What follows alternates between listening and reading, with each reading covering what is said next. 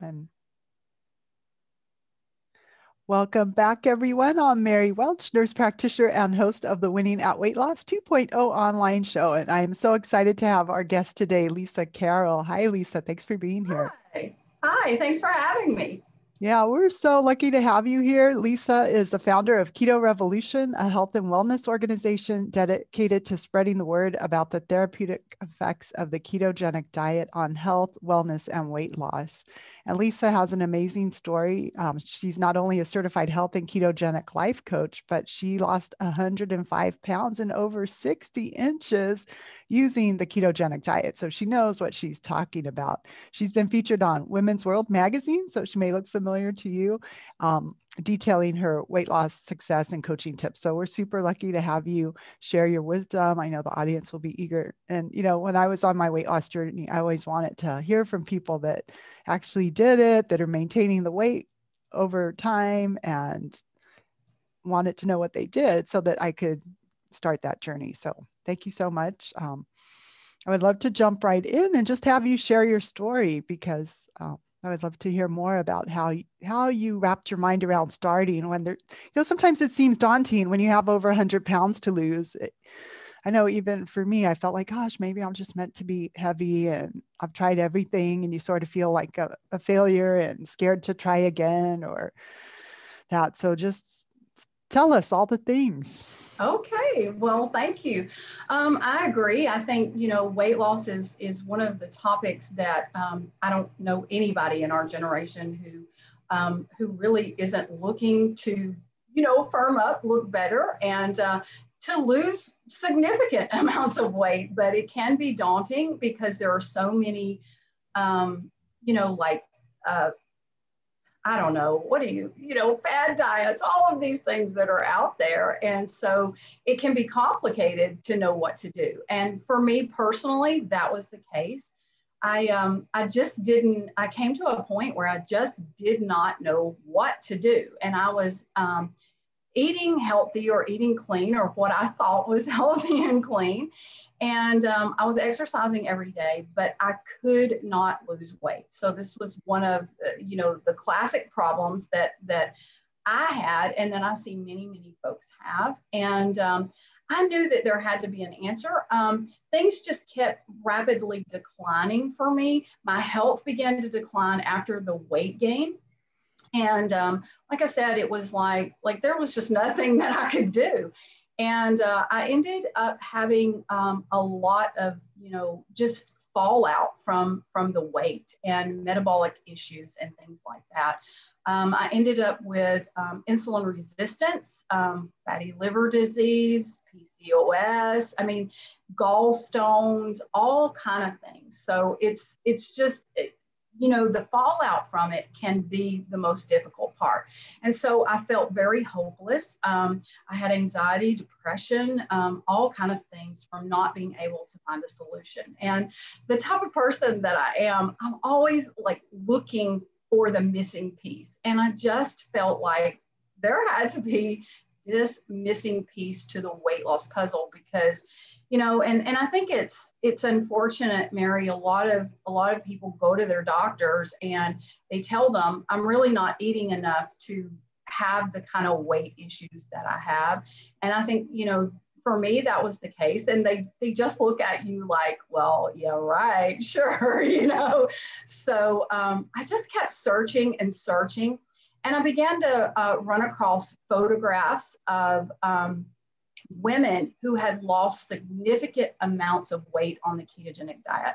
And one photograph in particular kind of really resonated with me. It wasn't like one of these before and after photos where you wonder if it's the same person. You knew that it was, and it was a body type that I could personally identify with. And I began to feel a little bit of, of hope. And something in me, you know, just just kept being drawn to that. And so I did a huge amount of research on the ketogenic diet, found the ketogenic diet, and found the missing piece. You know, so so that's kind of it in a nutshell. Good. And um, what a great story. How long did it take you to lose 105 pounds? Yeah, it took a little over a year for me. Wow. Um, I was fumbling around to begin with. I don't think it would have taken quite that long. Um, it is a significant amount of weight to lose, but it really it's finding how to do it, you know, because there are a lot of variations to the ketogenic diet. Everybody creates their own variation. And so when I was looking for a solution, after I just, you know, I dove into all the fundamentals of the ketogenic diet, why it works, um, you know, and and really begin to develop through trial and error. Um, so for a while, it, it took a it took a while to weed through all the things that you know people said were ketogenic um, that were not. You know, so um, I ended up developing a formula for weight loss that you know once I found out what worked, I wanted to share that with with other women.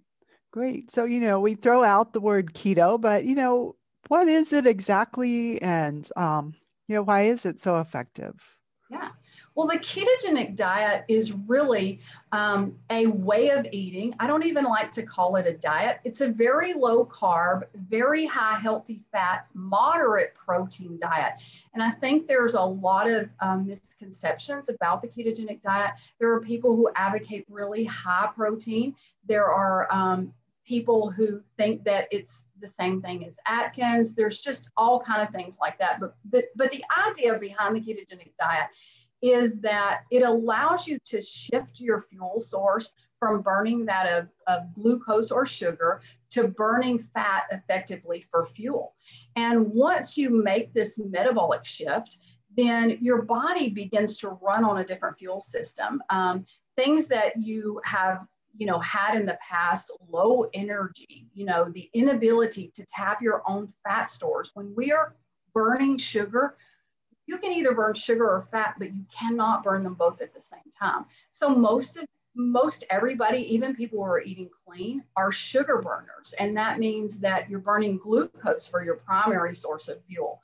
But when you shift over into a metabolic state that the ketogenic diet offers then what begins to happen is is you absolutely change that whole metabolic state that you're in and it allows you to tap into your own body fat stores and to burn them for fuel. There are a number of things that have to take place for that to happen. And I think this is where people get tripped up, you know, on the ketogenic diet mm-hmm. because you do have to have to know those things. But but yeah, it's absolutely effective for weight loss.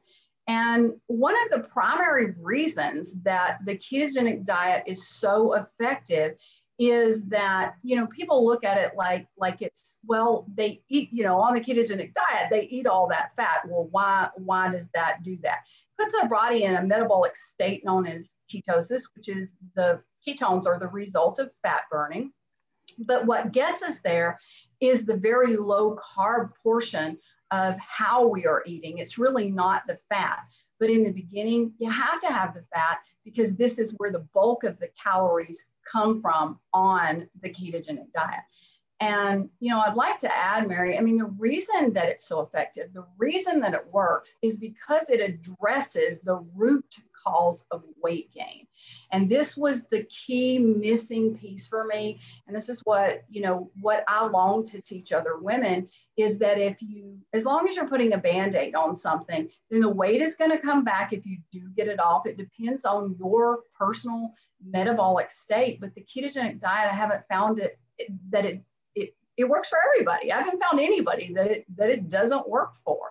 Mm-hmm. And so I long to offer hope to women who are struggling and who who feel that they have you know they're on their their last leg with it or uh, they're at a place where it's this is their last ditch effort those are the type of people who who i typically coach um, you know if nothing has worked before those are the people that i really really want to work with you know because it's just um, I, I long so much to offer the hope that I did not have for a very long time. Yeah. But the ketogenic diet, it um, it lowers the insulin levels in the body, and insulin is our fat storing hormone. Mm-hmm. And when we're when we have large amounts of insulin in our body, we cannot burn fat. And so these are the things that, you know, that we address with the ketogenic diet.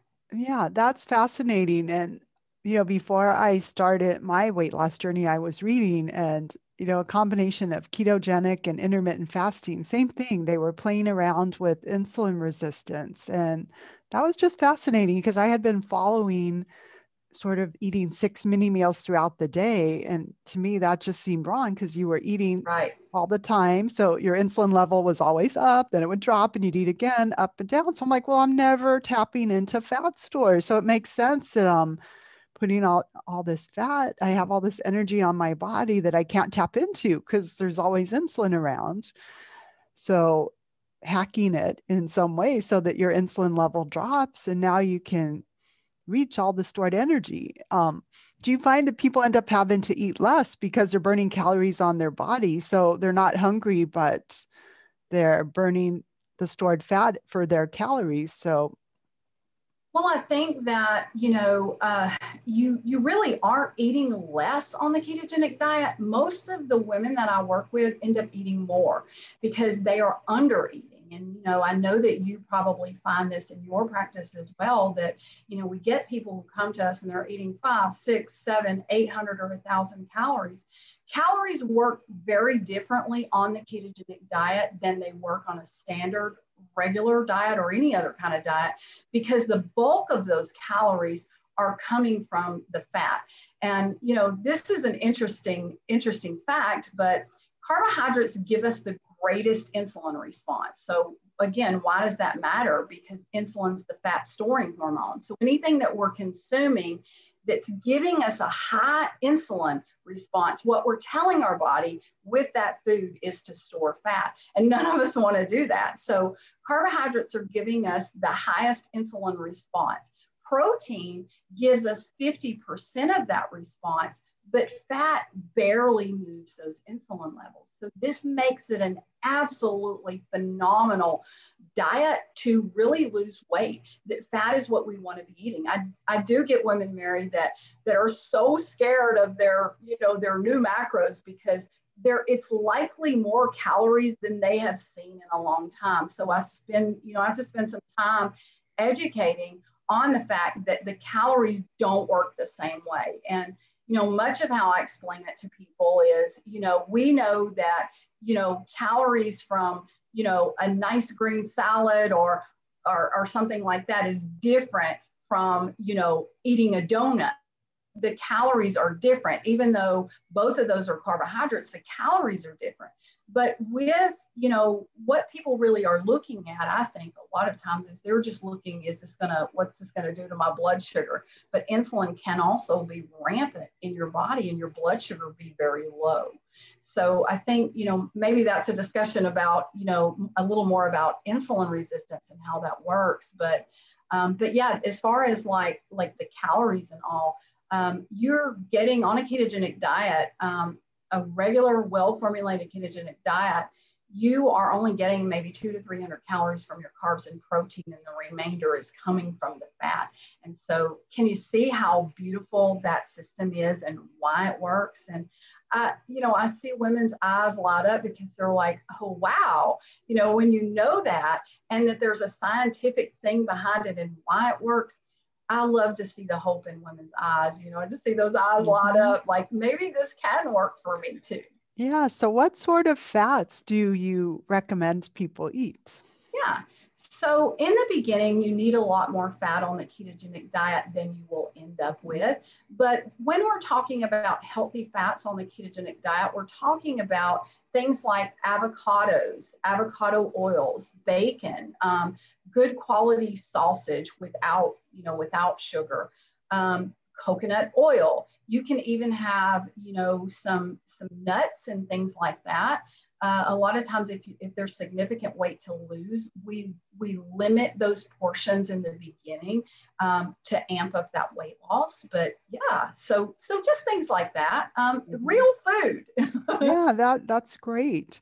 And you touched on insulin resistance, so let's talk a little more about that. What is it, and how do we know if we have it?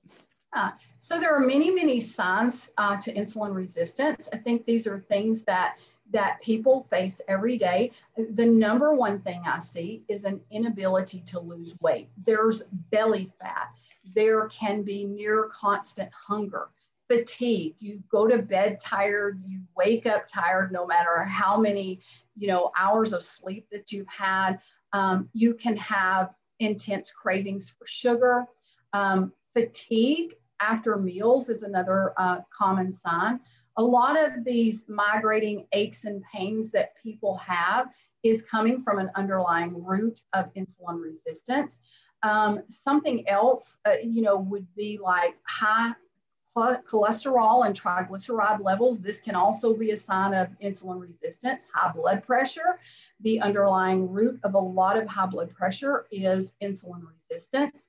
Um, you can have hormonal imbalances. So if uh, ladies are struggling with that, uh, if you have PCOS, you you have an underlying root cause of insulin resistance, and a lot of times that is that is never detected.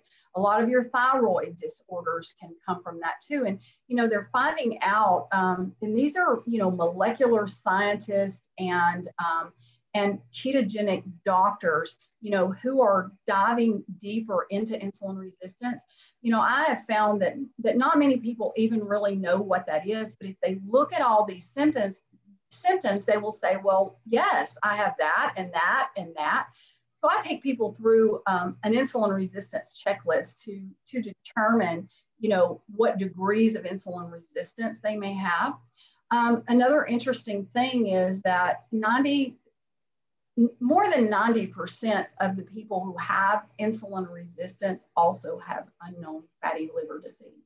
Mm. And basically, what begins to happen, um, Mary, is we're, we're basically allowed one teaspoon of glucose in our bloodstream at any one given time. Anything over that has to be swept out of the bloodstream and into your cells, muscles, tissues so that they can, it can be used for energy. Well, over time, overconsumption of carbohydrates leads to um, your body producing more and more insulin every single time you eat. You know, you mentioned eating five or six meals. Well, the reason that's not a good idea is because you're stimulating insulin every single time you're doing it, and you're telling your body to store fat.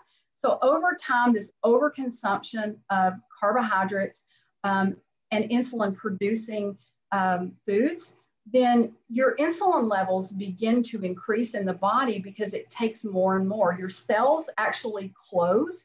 Your body, insulin resistance is a protective mechanism. And, and from having it, I can tell you it doesn't feel protective um, by any means. You feel it, I mean, it can totally feel like a curse because all of these things that, you know, that I've just mentioned can begin to happen. And I think one of the, the primary things as far as metabolic issues is, you know, you're getting, you know, high triglycerides, you're getting high blood pressure, you're getting things like that. Now, you don't have to have all of those symptoms. It just depends on how your body is, is processing that. But anyway, insulin resistance is a protective mechanism where it's protecting your cells from, from cell death, basically. And we are who we are on a cellular level. And so it's very important that, that our cells remain healthy. And so overconsumption of carbohydrates, processed carbohydrates, things like that, the cell begins to close.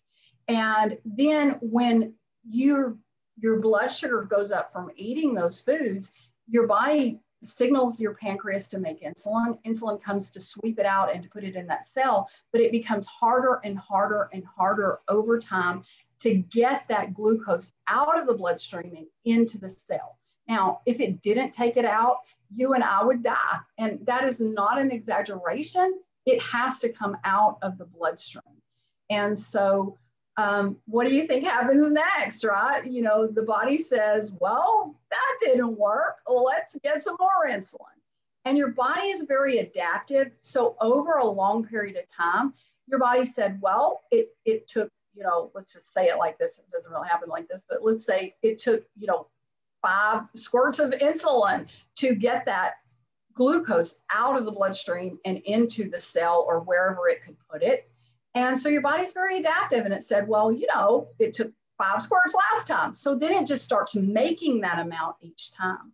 And so, um, but it is a protective mechanism. And if the cell is closed, then your body will often route that excess glucose to your liver. And that is a lot of how, you know, you can get fatty liver disease. It's not the only way, but it is a lot of it. And it is what happened to me. And it was silent. I did not know, you know that that was happening. So yeah, and it, it does. Fatty liver certainly out there, and then it kind of makes the liver less effective at filtering toxins and things. So then you have an increase in toxic load, which raises inflammation, and it this vicious cycle happens. So Absolutely. we know now. Let's say we have insulin resistance. What's the best way to kind of get a handle of it and perhaps reverse it and yes change that? Um, it absolutely hands down the ketogenic diet is the answer to that. Uh, and i know that from experience not only with my own self but working with with thousands of women. Um, it can be reversed. There are some things that you know that you have to do and things that you have to put with it um, to make that happen to get all those toxins that you're talking about out of your liver to get a healthy liver while you're doing that. And just the mere fact of adopting a a very well formulated ketogenic diet that is focused on ingredients. You, you know, there's, as I said, a lot of different variations of the ketogenic diet out there. But what we want to do is we want to use one that is focused on um, attention to ingredients because they matter. Things like high fructose corn syrup, very damaging uh, to the liver. Acesulfame potassium that's in many of your diet drinks um, wreaks havoc on your liver and increases insulin resistance. So there are a lot of triggers that you know that will cause an increase in that so if you want to reverse it then you know you learn how to do the ketogenic diet in in an effective way that really addresses uh, insulin resistance. And I don't know a whole lot of people that are really doing that. That is the focus of my practice is, you know, we want to help people where, where we've experienced the most pain, you know, and, and prevent people from having to go through what, what we did. And so, um, so yeah, but it can definitely be reversed with the ketogenic diet right. as can all of the symptoms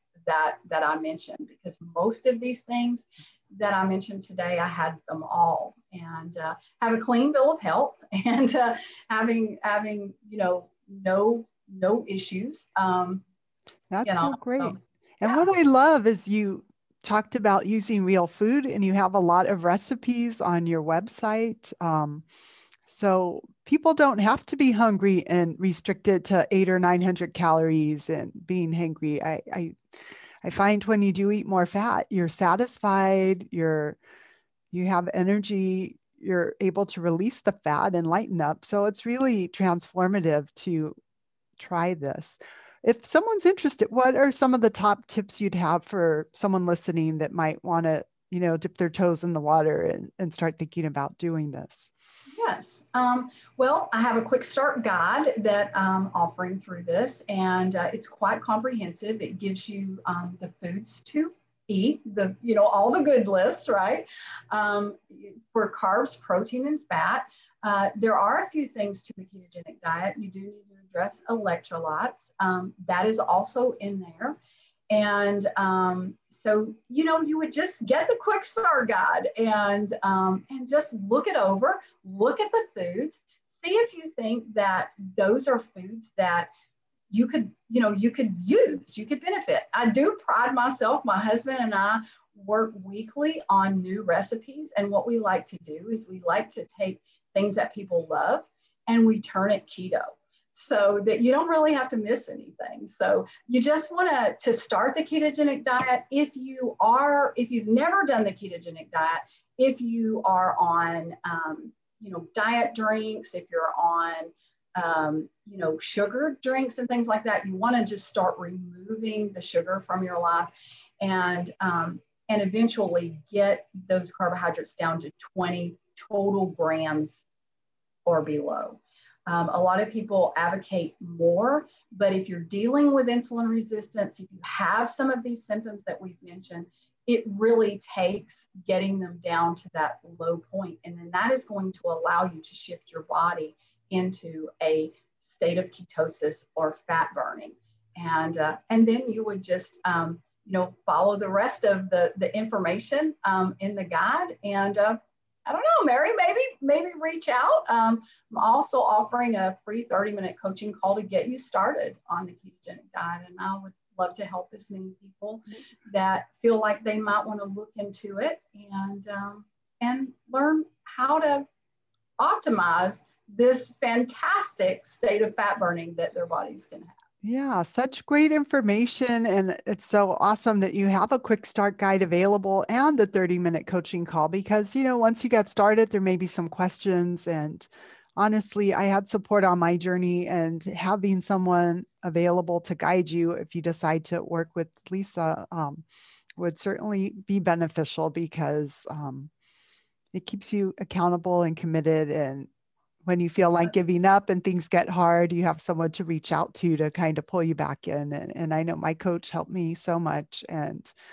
you know, our health is so important and we have one life. So, really taking care of it, especially, you know, I started my weight loss journey when I was 50. And I thought, if I don't do it now, when am I going to do it? Am I waiting until my health really deteriorates and it's harder to do?